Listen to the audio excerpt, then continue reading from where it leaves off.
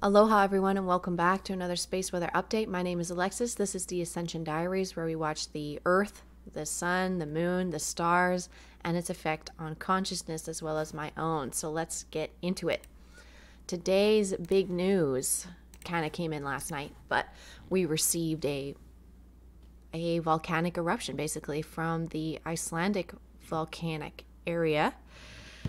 So that was the evidence there of the I would say the Earth crust responding to the solar wind is the best way for me to describe that for you. So when the solar wind is in, which it is right now, and I'll show you evidence of that, it's still here, it's still going, it pushes the crust around itself.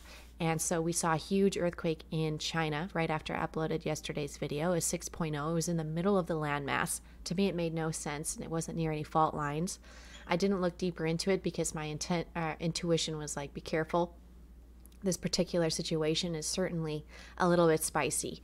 And then we had this spicy event literally happen in Iceland that kind of helped draw the energy away. But I'm interested to see if the location in Iceland and the location in China perhaps are in some sort of geometric uh, relation to each other. And I mentioned yesterday the channel dutchsinse.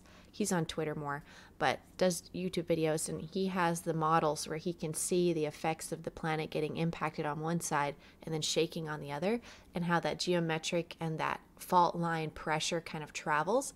He's got a much keener eye on that and so I'm interested to see what he's going to say maybe about this. we'll see, I guess. And I'll, I'll obviously repost that and I can add it to tomorrow's video. But beautiful sight. Let's look at what's the trending topics at this time oh, things have already changed since I've recorded this video a couple times, unfortunately, but XRPL was on here. Now Kristen Stewart is on here, which is weird to me. Shout out to Twilight fans. And the Vatican's on here. Shout out to Twilight fans. Just kidding, but for real. Those two things interrelated.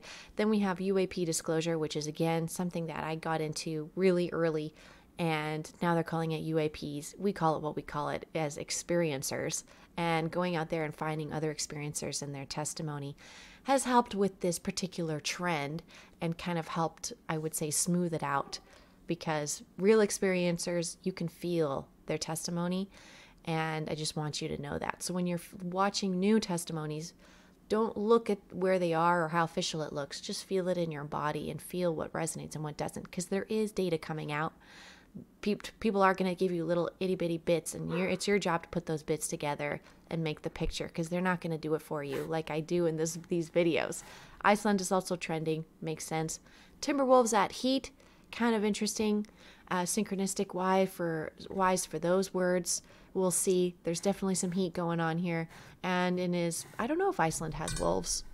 I don't know, but the Arctic definitely does, but maybe not Iceland. They maybe got lucky. So the global consciousness today in response to all this from this these earthquakes and this volcanic eruption, right? Uh, it could have been an actual coherent moment, which is fine. I mean, when the earth does adjust, it probably feels a great sense of relief, and therefore so do we. So maybe that was that moment. I didn't check perfectly at that time, so I won't be able to tell you that. But you can see the coherency's been very coherent and very uncoherent right next to each other in the last 24 hours. So that would have been a major mood shift you maybe experienced or a, a fight and a resolution.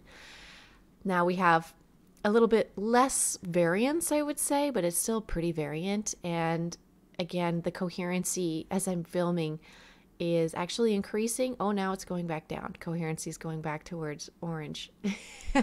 Come on, go towards blue. I want this video to do well. so here on Space Weather News, where I was kind of giving them a little bit of, I was pushing back against their particular article yesterday that was claiming they were canceling the impact of the solar wind, even as earthquakes and volcanoes and the aurora and all of the evidence that it has arrived. So I wasn't sure what their point was, but they've moved on to talk about this Icelandic eruption, of course, over by Reykjanes Peninsula, you know, and the Geldingalalur, Gadalar, Gelding Adalar volcano, Gelding Adalar volcano. I know I'm saying that annoying amount of times, but that might be how you pronounce it. But if you're speaking to Gaia, I wonder, is that what she calls it? what does she call that area? How does she refer to that spot? I have these questions in mind. Don't mind me, I am a bit of a goof, but with I just get excited, you know, and it's exciting to see that this these you know polar stratospheric clouds were also something that people got to enjoy other than the aurora. This is in the, even in the daytime seeing seeing in a way the aurora still in the daytime but in these high stratospheric clouds you're getting to see more color and more beauty from again this solar wind which is really cool. Like i said solar wind came in three separate times over the last few days multiple waves of solar wind you can see here where they actually cut the data three separate times one two and three so interesting how that lines up but again you can see the solar wind increased quite a bit and then dumped and now we're missing data and the solar wind is kind of retraced back to where that was. So perhaps this particular section of data is just really struggling and it was just a steady wave. But to me, obviously, this is scientific evidence that there was more complicated factors to the solar wind, but that doesn't bother me. Complicated factors doesn't bother me. I'm not scared of learning more and understanding complexity. So I would love to see that data in the future. Overall, though, the pressure on Earth doesn't seem to be that high, which is great. And when I'm checking, no more solar flares. A couple, maybe a couple concerning sunspots for the next couple days, but nothing in the immediate that I feel like we're going to get flared again. And more so, I feel like we're receiving on the Earth end of things and just adjusting with that volcanic and earthquake energy. You know what I mean? So, just overall, Russia is showing a little bit in the atmosphere, a little bit more electromagnetic disturbance, even though it doesn't look natural. Italy is today showing almost no electromagnetic, you know, a little bit of evidence over the last few days. So yesterday had a little bit more than today. HeartMath is still down, and we're almost completely out of data now since they've shut down the last remaining square and data from the 12th there in South Africa, especially. So I hope that comes back online. The earthquakes are showing again that there was some activity and it was kind of a worldwide shake. You can see it in Russia and China.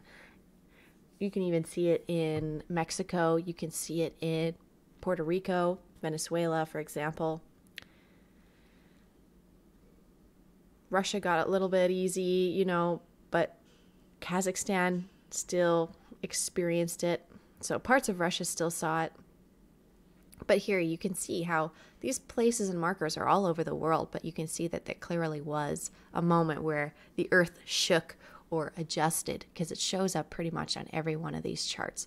So it adjusted and then it started spraying lava out of Iceland after it shook the center area of China. And those of you mentioning that maybe those dams in China that are running the Bitcoin factories or whatever, maybe we're affected by that earthquake, or maybe we should look into that more. I don't know if you saw any more evidence of that.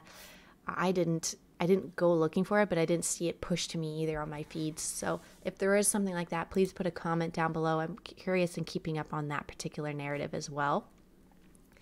And if you haven't gotten yourself with your crypto situation and you don't know how to start and you need the technical help, you can go to join.consciouscrypto.info to sign up get that help, get those investments done, enjoy your money, enjoy your life, you know, whatever you need. We're happy to help. The technical part is sometimes the hardest, and so that's what we're here to help with. And if you need any sort of psychic help or you would like a five week coaching package with myself exclusively, that offer is on my website now. If you haven't signed up to my website's email list, my emergency email list, just go right now, ascensiondiaries.com. This pop up will come and it will ask you for your email. And of course, you can check out my Patreon or my Telegram in this pop up also if you're not interested in the email section. Lots of options for you. I tried to make it super easy. I've been I've browsed on a billion websites myself, so making my own, tried to make it easygoing and gentle on everybody.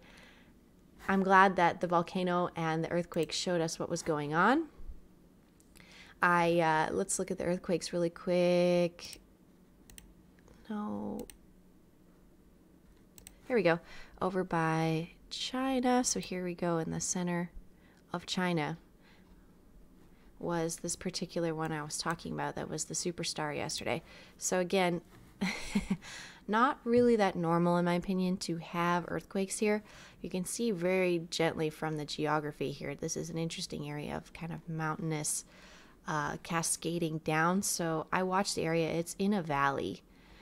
It's over by, in a way, it's in its own little river valley that this activity happened. There's some lakes. And it was more rural, I would say, that this activity was going on. But just typographically, it was an interesting spot to look at. You see, there's a little bit of infrastructure over here, but really it, it was more rural. And it was. It was right by a road. It was like on someone's property that this happened, which was interesting. And it was about six miles down as well. So, six a 6.0 earthquake about six miles down. Oh, this one says, oh no, never mind. That's still correct. So that was interesting. So I guess after this video, we'll see what starts shaking next, and then you'll all be like, oh, Alexis, look at that. Oh, see, here's another one in the middle of the United States.